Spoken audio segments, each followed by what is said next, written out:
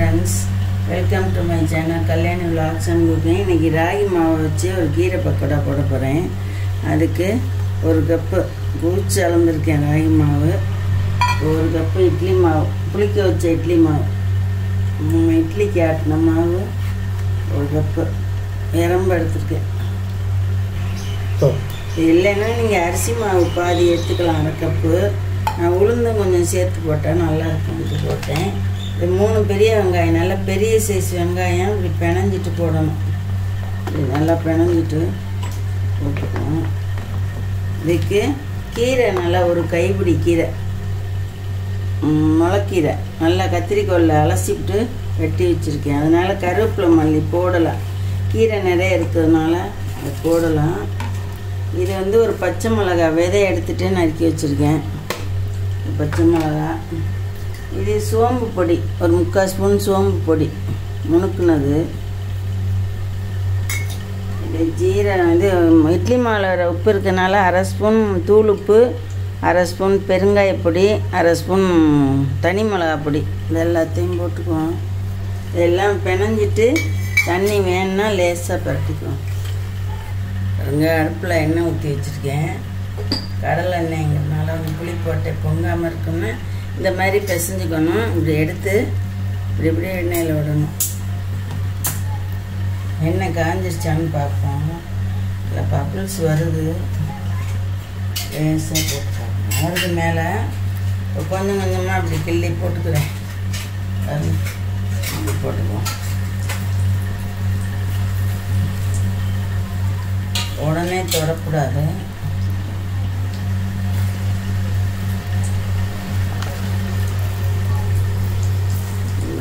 லேசாக எடுத்து எடுத்து லேசாக லூஸாக தான் இருக்கணும். அப்போ தான் நல்லா சாஃப்டாக இருக்கும். சாப்பிட.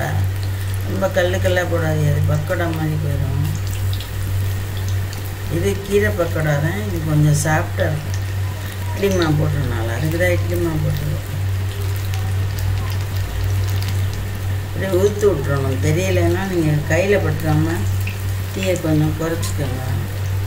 புளி போட்டனால பொங்காது. கொஞ்சம் வேணால் குறைச்சிக்கிறேன். கொஞ்சம் போடலாம் ரெண்டு மூணு போடலாம். அதுதான் அகலச்சட்டியாக வச்சேன். இல்லைன்னா ஒன்றோட ஒன்று போய் ஒட்டிக்கும் நான் ரெண்டு கொட்டுன்னு எடுத்துவேன்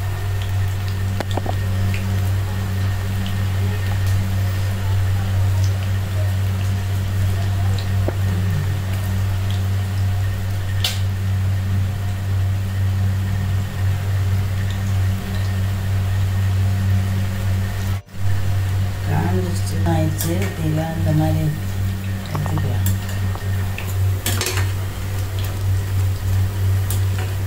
நல்லா வேக ஒட்டி எடுக்கணும். நிறைய அடங்கொட்டி எடுத்துக்கலாம்.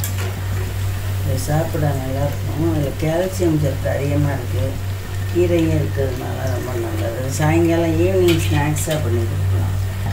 ஒரு ரெண்டு ஸ்பூன் பொட்டுக்கடல போட்டுக்கிறேன். பார்க்குறதுக்கு அழகாக இருக்கும். பரட்டிட்டு போட்டுப்போம்.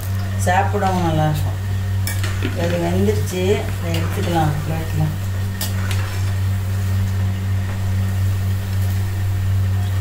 எடுத்துக்கலாம்.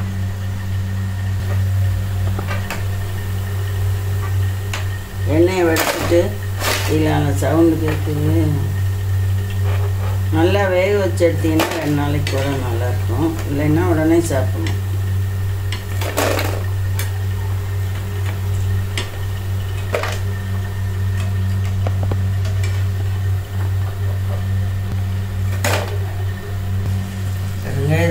இது மிச்சம் இருக்க மாவையும் போட்டுட்டு வரேன்.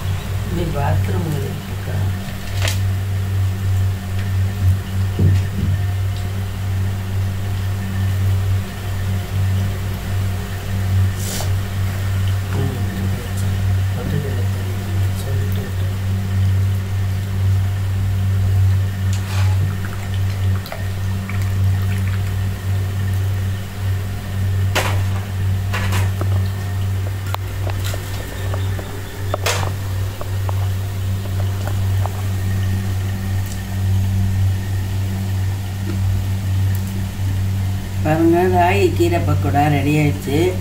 இது போல் நீங்களும் செஞ்சு பாருங்கள் உங்கள் லைக் அண்ட் கமெண்ட்ஸை ஷேர் பண்ணுங்கள் மறக்காமல் சப்ஸ்கிரைப் பண்ணுங்கள் தேங்க்ஸ் ஃபார் வாட்சிங்